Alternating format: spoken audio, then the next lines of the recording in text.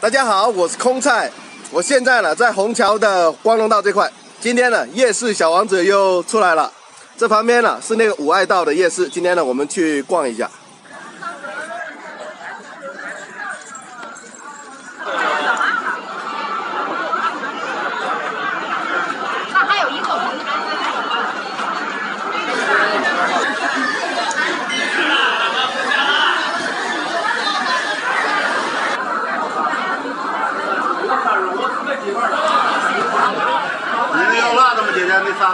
我要来来一点儿。豆豆片儿，十块钱豆片儿，还有麻花鱼豆，没有吧？鱼豆腐没有了，鱼豆没有了，那来就来一个面筋，来一面筋，对稍微等，你等一会儿啊，等两分钟。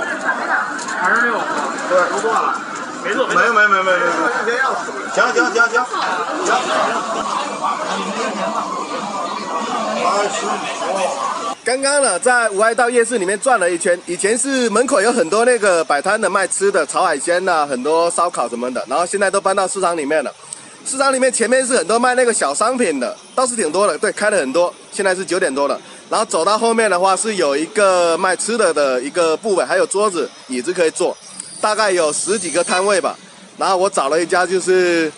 卖烤面筋的这家是最火爆的一个摊位了，人非常非常的多，一直在那排队。然后其他的有一些卖章鱼小丸子啊、炸串啊，还有什么花蛤粉啊什么的这些，买了一根四块钱。这家的烤豆皮还有那个烤面筋，很多人呢，试一下啊。刚刚好久没吃过那个烤面筋了，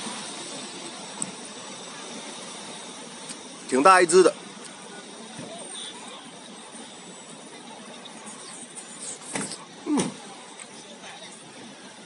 麻，哇，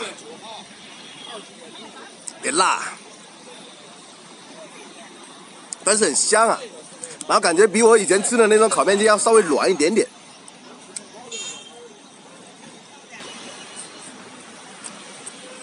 这个夜市今天就是市场里面的人虽然不少，但是呢，还是感觉以前在外面的时候比较热闹，人更多。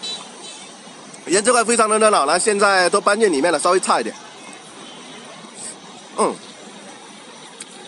这烤面筋确实挺香的，它撒的那个调料，感觉还有一点是花生还是还是芝麻的那种，所以吃起来特别的香。那家小店三个人在那忙活不过来，就光卖烤面筋和烤豆皮，好像还有烤鱼豆腐，但是我去的时候已经卖光了。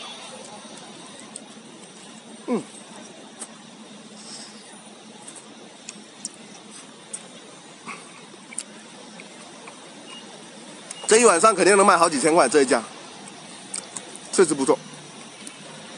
你喜欢吃烤面筋吗？香香辣辣的，哇！哎，刚刚吃的时候还不是 特别麻、特别辣，怎么越吃感觉越来越麻、越来越辣了？现在嘴唇有点那个麻了，真的。越吃越麻了。